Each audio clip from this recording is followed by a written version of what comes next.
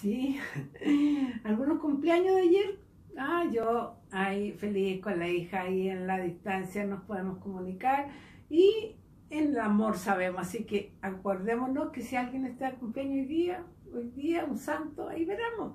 ¿Ya? Pero lo importante es el recuerdo, es la llamada, no la parte material.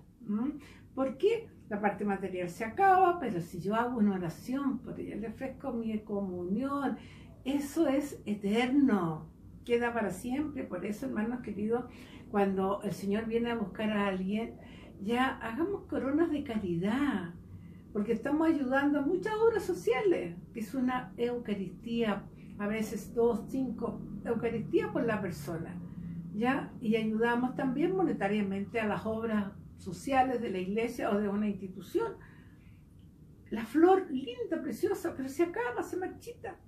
Por último, una florcita, ¿ya? De amor, porque hoy, ya, perfecto, una florcita, ¿ya? Pero lo demás, que eso se va a marchitar, pero lo que tú vas a entregar por esa persona, que es la oración y la misa, eterna. Así que vayamos tratando de, hoy no, y, yo, y tiene que estar ahí, pues, y, la grande, el ramo, y con grande de quién es.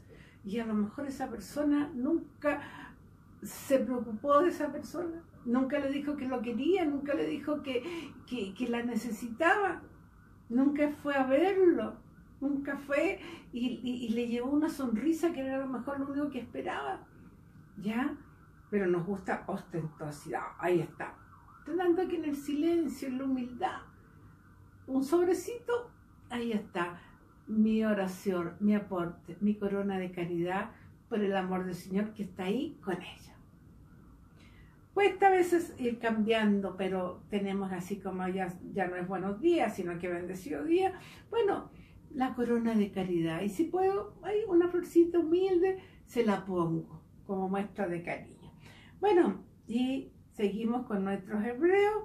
Estamos en Hebreo 6, 11, 12. Y nos dice, solo deseamos que cada uno de ustedes dé hasta el final muestras del mismo entusiasmo en orden a la plena realización de su esperanza, de modo que en lugar de descuidarse, sigan el ejemplo de aquellos que por su fe y su perseverancia son ya herederos de las promesas divinas.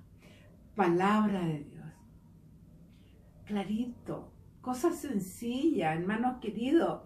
Si de solo deseamos un deseo de amor, que cada uno lleguemos hasta el final con el mismo entusiasmo. Aquí está, todos los días nos va diciendo lo mismo. Ya que seamos fiel, que creamos. Aquí dice que sigamos con el mismo entusiasmo que no, que viene un problema, que ya no me miraron bien, entonces llego hasta aquí. No, que en modo, en lugar de descuidarse, sigan el ejemplo de otro. A lo mejor un santo, tenemos TVC Calcuta, ay, yo vamos a llegar. Bueno, pero hay tantas personas, por eso es importante, hermanitos queridos, antiguamente en mi tiempo había la historia de la vida de los santos ya, y esos santos te vas a dar cuenta que nacieron igual que tú, tuvieron los mismos problemas, pero fueron capaces de no perder el entusiasmo y seguir al Señor a pesar de todo. Se caían y se levantaban, se caían y se levantaban, porque confiaban en el Señor y así lograron superarse. ¿Ya? Entonces, tenemos que ir dominándonos. Y si los vamos leyendo, y ellos pudieron, que muchos santos han tenido una vida peor que la tuya y la mía al principio.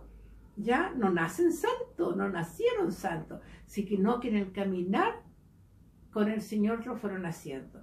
Así que tú y yo también podemos hacerlo. Así que digamos Señor, en ti confío, ayúdame a ser santo hoy como tú quieres que lo sea.